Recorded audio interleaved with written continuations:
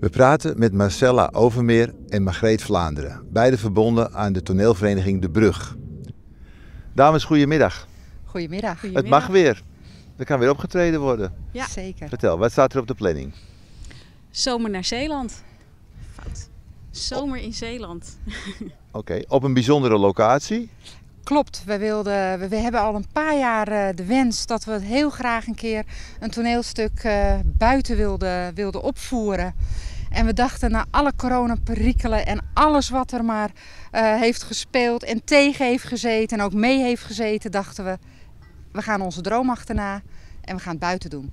De fantastische locatie natuurlijk, wil ik straks graag nog wat meer over weten. Dat mag. Uh, nu heb ik begrepen dat, dat, jullie beiden de regie voeren van dit, van dit stuk. Hoe is dat zo gekomen?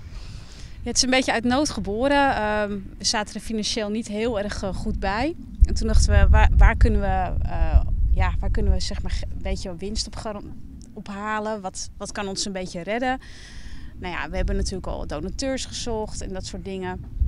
Maar we dachten, ja, het moet even, even een goede boost uh, worden. Waar kunnen we nou goed op bezuinigen? En toen kwamen wij eigenlijk met het idee, omdat wij het altijd wel een beetje leuk vinden om een beetje mee te kijken hoe de regisseur het doet. Dat we dachten, goh, zullen we een keertje samen regisseren? Dat uh, scheelt uh, een klap met geld. Ja. En uh, dat was eigenlijk ook onze droom om dat een keertje te doen. Oké, okay, dus ik, begrijp, ik begrijp dat dit jullie debuut is dan? Klopt inderdaad. Ja. En ook onze redding als de brug. Want daarna kwam de corona. Ja. En stel dat wij een, een, en toen, we hebben dus twee jaar niet kunnen spelen. En stel dat er een, een, een betalende regisseur op had gezeten, waren we failliet geweest.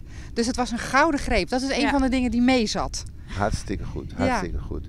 Uh, ik zie dat u al in, in, in een rol zit. Ja, klopt inderdaad. Uh, wij hebben um, uh, sinds, even kijken, twee uur geleden hebben wij een radicale rolwisseling uh, moeten doen uh, door omstandigheden.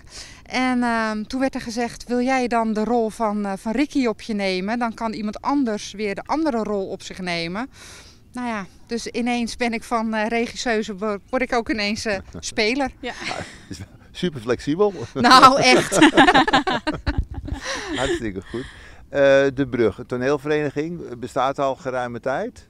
Ja, al, uh, nee, dit, dit, is dan zeg maar de nieuwe brug. Dat is denk ik al uh, vanaf 1998, 1999. Ja. Maar daarvoor bestond de brug ook al. En dan gaan we echt heel uh, ver terug. Ja. Dat zou ik zo niet eens uit mijn hoofd weten, maar dat is echt al jaren. Ja. ja.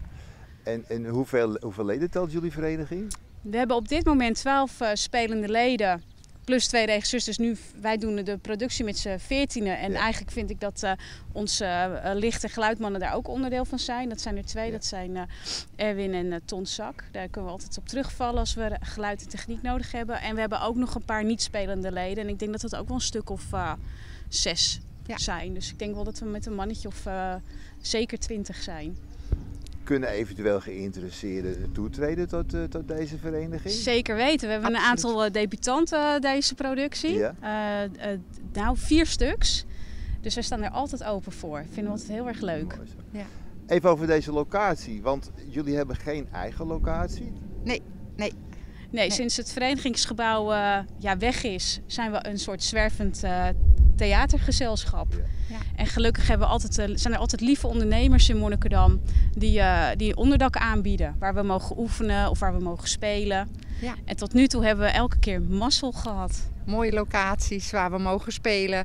Ja. Mooie locatie waar we mogen oefenen, want we oefenen in het weeshuis. Ja. En, uh, nou ja, en nu hebben we de mazzel dus dat we op dit, uh, op deze, op dit weiland mogen spelen. Ja. Ja. En sluit ook, ook mooi aan bij de uitvoering die jullie gaan doen. Of Zeker. Over een camping. We hebben vragen gehad van mensen die zeiden... Die, die fietste hier langs en die zeiden, is hier een camping gestart? Hoe kan dat? Ja, ja, en toen dachten we, nou, dan hebben we het volgens mij goed neergezet, het decor. Ja, Ja. hartstikke goed is dat. Ehm, deze locatie is beschikbaar gesteld door de landeigenaar. Ja. Ja. En dat gaat allemaal met gesloten beurs? Dat, dat is goodwill allemaal? Het uh, is een appeltaart per week. Nou. En uh, nou ja, dat vonden wij een goede deal. Ja.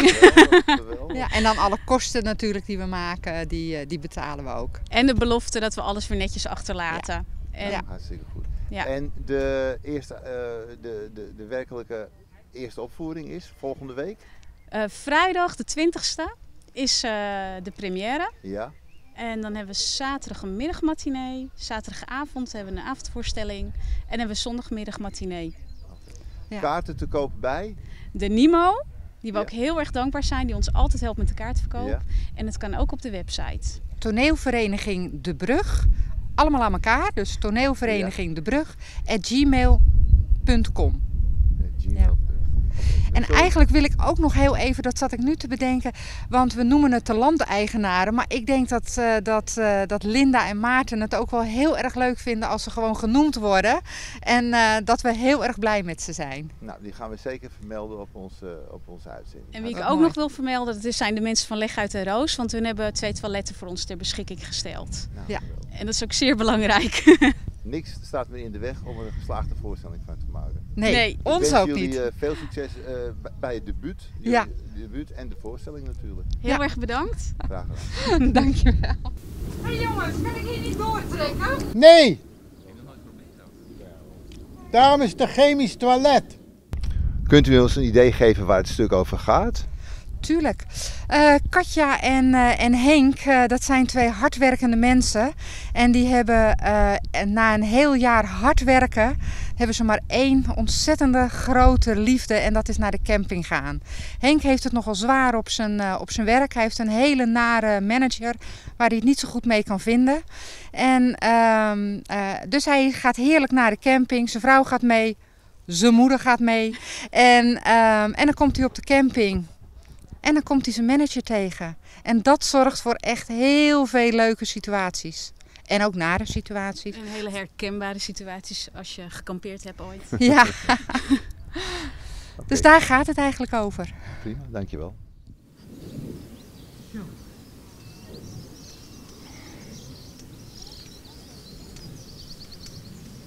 Krijg nou wat. Katja! We hebben nieuwe buren. Meen je dat nou, Henk? Waar Rempel? Zo, zo, dat is zijn beste caravan. Is dat niet die jij zo graag wilde? Oh, oh, oh, oh, moeder, kom. Pak moeder even. Kom moeder, even, even, even. Zet je wel even neer en pak wel even een stoel. Zet die stoel maar gewoon neer, eh, Henk. Doe die stoel maar, zet maar daar. Kom maar, Op haar plekje. kom maar. Nee, dichter bij die kabouter. Dichterbij. Zo goed, moeder. Zie je. Het is goed.